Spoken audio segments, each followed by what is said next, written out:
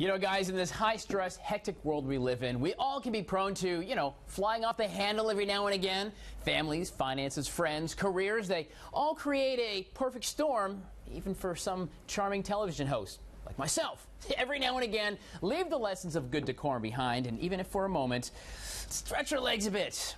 Well, I'll tell you what, this morning we have some tips on how we can manage the mental melee. The lady who puts the Q into the title of Queen of Cotillion, Pamela Eyring.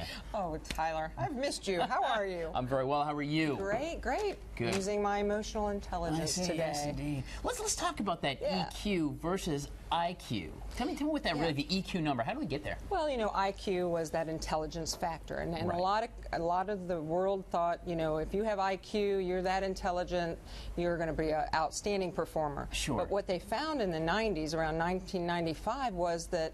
No, these people with average IQs who had emotional intelligence Right.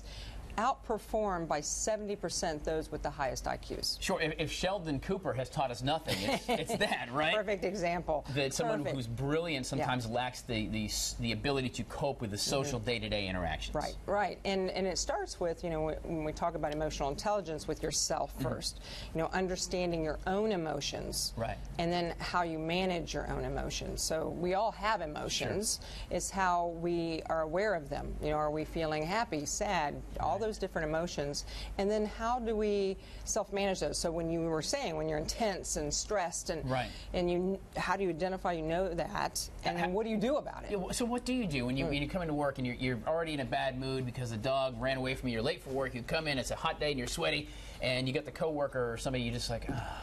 Yeah. I mean, how, how do you how do you how do you maintain your, your, your professional acumen? Right. Well, being self-aware starts at say, "Oh my gosh, I've had this worst day," and so when you walk into the office, realize I'm leaving this in the car. Okay. I'm just dumping this in the car. In fact, I'm going to throw it in the trunk, be done with it, and when I come in, I'm going to put on a smile, and that's Right. called that self-management. That's Okay. where you transition from that emotion you just had and calm yourself. Sometimes you have to just take a moment. You kind of hit the pause button. Yeah, yeah. Right. Hit the pause button, stop for a moment, and go, okay, I'm not going to play this when I get into the office. Right. In a, in a professional setting, if that happens, is it acceptable to say, you know, I've, I've got to I've got to go powder my nose for a second? If you just Yeah. if you feel like that annoying little, and you're like, you know what, I need a second.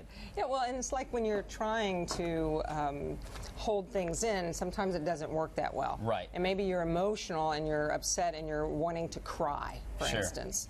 And you don't want to cry in front of your coworkers and, you know, you're just like, I'm just going to go get it out, go to the restroom, let it out, or shut my door. If I have a door, I'm just going to get Sure. it out, get it done.